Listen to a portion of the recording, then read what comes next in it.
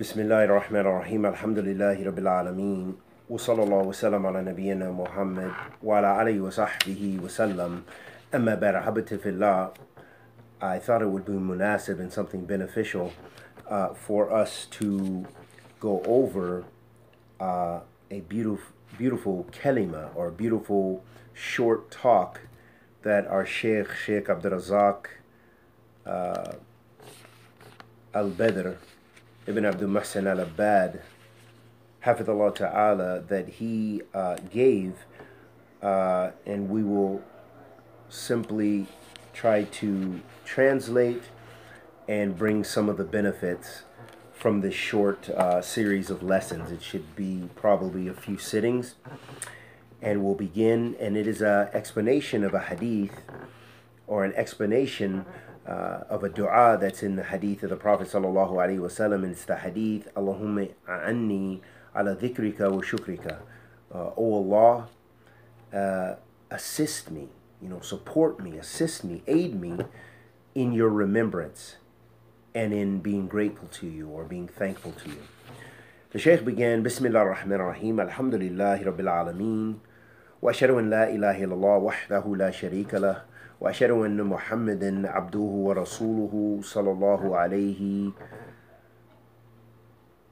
وعلى آله وأصحابه وسلم أجمعين أما بعد أرجو الله سبحانه وتعالى أن يبارك لنا فيما نقول ونسمع So the Sheikh began after the introduction he said and I, I, I hope and I implore Allah subhanahu wa ta'ala uh, to give us blessings in what we say and what we listen to. And the context of this uh, short talk, this was after prayer. And so he's going to actually explain that in the first portion of what we'll read. And he said, وأن يجعل ما نقوله ونسمعه حجة لنا ولا علينا يوم لقاء الله سبحانه وتعالى وكلمتي في هذه الوقفة أيها الأخوة في دعوة تناسب هذا المقام مقام الفراغ من أداء هذه الصلاة العظيمة التي أكرمنا الله جل وعلا ومن علينا بأدائها. So the Sheikh then he said uh, that we ask that Allah subhanahu wa ta'ala uh, makes this makes what you hear, what you listen to, what we listen to, and what we say uh, a proof or evidence supporting us, in support of us, not against us on the day we will meet Allah the Almighty. And my short talk today, my brothers, uh, is a call to that which is uh, um, useful or that which is uh, appropriate for uh, this time. And that and this time is the time in which we have finished praying. And uh, Allah subhanahu wa ta'ala has favored us, the Almighty, with, with praying in congregation and performing the, the prayer to Him subhanahu wa ta'ala And He has blessed us to be from its people, meaning the people of Salat, Ahl Salat, Ahl Iman. and he said, وهي دعوة النبي صلى الله عليه وعلى آله وسلم التي علمها لمعاذ بن جبل رضي الله تعالى عنه قال يا معاذ والله إني لأحبك لا أحبك والله إني لا أحبك فقال أوصيك يا معاذ لا تع... لا تدع... تدعنا في دبر كل صلاة تقول اللهم أعني على ذكرك وشكرك وحسن عبادتك The Sheikh then said, he mentioned the hadith of the Prophet sallallahu alaihi wasallam. He said, and, and this this time, this is a useful and pertinent uh, time to explain this uh, mentioned this da'wah or this this dua, this supplication of the Prophet Muhammad sallallahu alaihi wasallam that he taught Mu'adh ibn Jabal radiallahu ta'ala in the hadith in which he said, Ya Mu'adh, O Mu'adh, uh, Wallahi, verily I love you. Wallahi, verily I love you. And he, so he repeated that twice. And he said, then he said, I advise you, O Mu'adh, to supplicate in the end of every salat with this this dua. Allahumma a'anni ala dhikrika wa shukrika wa husna ibadatika. O Allah, assist me in remembering you, or you know, help me, support me in remembering you, and giving thanks to you, and perfecting uh, my worship of you. Then the Sheikh mentioned, he said, وهذه دعوة مناسبة في هذا الموضع أدبار صلوات تمام مناسبة And for the sake of time, we won't read all the Arabic because this is going to uh, increase taking our time and perhaps maybe it will take away from the benefit by having to listen to me labor through the Arabic language. Wallahu musta'an. So the Sheikh then he said, he said that this uh, pertinent supplication, meaning pertinent because it's pertinent to the time, uh, at the it's pertinent because it at the end of every prayer. This so this has the this is the perfect time to mention this uh, du'a. He said because verily, O Muslim, Allah subhanahu wa ta'ala has favored you and generously given you and made easy for you your ability to come to the prayer. And he has blessed you and made you from its people. And that is a favor from him, subhanahu wa ta'ala, upon you. And because verily the earth is full, full of people who don't pray. You know, they don't they don't attend the prayer. And those who do attend it are few. And Allah the majestic and almighty and exalted has favored you from amongst those people and made easy for you and made it for you to be from the people of prayer. Ahl Salat. And he said, So how many people that don't even hear the Adhan Aslan, they don't even hear the Adhan. You know, of course, in America and in, in many places in the world, you know, you don't hear the Adhan. Even in some Muslim countries, Wallahu musta'an. And they have no concern for it. And how many people, they listen to the Adhan and they don't come, they don't uh, heed the call to prayer. And this is a travesty, Habitifillah, that we have here, where I'm in the land of Tawheed, Sardiya. How many people that, since I've been here over the years, and witness how many people that play football next to the haram, next to the Prophet Prophet's masjid, and they don't stop. And they continue their football game even till the prayer is finished and outside the prayer. And how many people wait in their cars sometimes right near a masjid waiting to go to finish their shopping, to go into the mall or go into a supermarket for something simple to get some milk. They would rather sit in their car and do whatever they're doing, maybe smoke cigarettes, maybe listen to music, whatever, but they refuse to pray. So this is a travesty. And this is what the Sheikh is calling to attention. And then he mentioned the ayat, which is munasib for this. He said, فَلَا صَدَّقَ وَلَا صَلَّى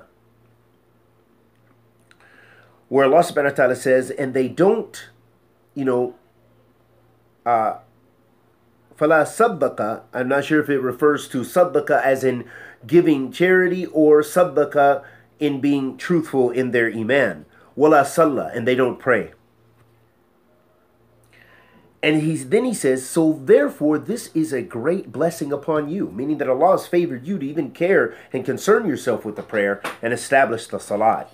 He said, and then Allah subhanahu wa ta'ala says in Kitab al-Kareem, وَلَوْلَا فَضْلُ اللَّهِ عَلَيْكُمْ وَرَحْمَتُهُ مَا زَكَّى مِنْكُمْ مِنْ أَحَدٍ أَبَدًا وَلَكِنَّ اللَّهَ يُزَكِّي مَنْ يَشَاءُ يزكي يزكي يزكي من يشاء and then the Sheikh mentions another ayah where Allah subhanahu wa ta'ala says في كتاب الكريم that if it weren't for the blessing of Allah upon you, the favor of Allah upon you, and His mercy, وَرَحْمَتُهُ, and His mercy, none of you would be purified. Not one, none of you would ever be purified. However, Allah purifies whomsoever he pleases. Look at this ayat. If we contemplate that ayat alone that the Sheikh mentioned, the divine speech of Allah subhanahu wa ta'ala, we see that the guidance is from Allah subhanahu wa ta'ala. And that should humble us to make us be away from arrogance, thinking that the guidance is from us, thinking that we have some sort of superiority, that we are deserving of His fadl, or that we're deserving, that we're Ahl Salat, we're Salafi, we're this, we're that. Allah subhanahu wa ta'ala commands us not to make tis, uh, uh, to tazakka and, and, and fusukum. You know, don't And that's the meaning of the ayat. That's not the, the actual ayat, the verse. Meaning that do not do not uh, uh, you know claim piety for yourself. And as Allah mentions in this ayat, وَلَوْلَا فَضْلُ اللَّهِ عَلَيْكُمْ وَرَحْمَتُهُ If it wasn't for the blessing the the the the the the, the, the fadl that Allah subhanahu wa ta'ala has given you and his mercy. ما زكى منكم من أحد أبدا. None of you would ever be purified. That's from Allah subhanahu wa ta'ala. And then Allah subhanahu wa ta'ala affirms that the guidance is from Him and Him alone. So we forget that. من يهدي الله فهو مهتد. Whoever Allah guides, He's guided. وَمَن يُدْلِلْ فَلَا هَدِي لَهُ And whoever is misguided, they're misguided. No one can guide them. It's from Allah. Thank you, Allah subhanahu wa ta'ala. So Allah subhanahu wa ta'ala says, وَلَكِنْ اللَّهَ يُزَكِّي مَن يَشَاءُ However, Allah he purifies whomsoever He pleases. It's from Allah subhanahu wa ta'ala. That He's the one who guides you to Islam. He's the one who guides you to the Sunnah. The Salaf used to say that Alhamdulillah ala ni'mat Sunnah. You know, all praise belongs to Allah that not just I was guided to Islam, but the ni'mah of the Sunnah. The Sunnah of the Messenger of Allah sallallahu alayhi. Have the ni'mah azimah. Just think we could be people following, uh, blindly following figureheads that have so many acts of disobedience outwardly and distortions of Islam and lies against Ahl Sunnah and lies against the Sunnah of the Messenger of Allah sallallahu alaihi wasallam and negating the Sunnah of the Messenger of Allah sallallahu alaihi wasallam and claiming that their turq, their path, their tariqah is the way of salvation. But they call people to misguided bid'ah. And even zandaqa, some of them call people to kufr and disbelief, to grave worship, to worship the saints. Cry when you see my picture on the phone. Subhanallah. Alhamdulillah ala sunnat nabi sallallahu alayhi wasallam. Alhamdulillah ala hidayatillah ila sunnat nabi sallallahu alayhi wa alihi wasallam. Have a ni'mah azimah. So don't become arrogant and think that you're guided and say, oh, yeah, I'm Salafi. I'm Salafi, you're misguided. No, don't ever claim, don't ever be arrogant Be thankful and humble. That should humble you and know your shortcomings in practicing the sunnah and practicing the minhaj of the salaf. This should humble you, not make you arrogant. Then the Shaykh he mentions, and we'll stop there.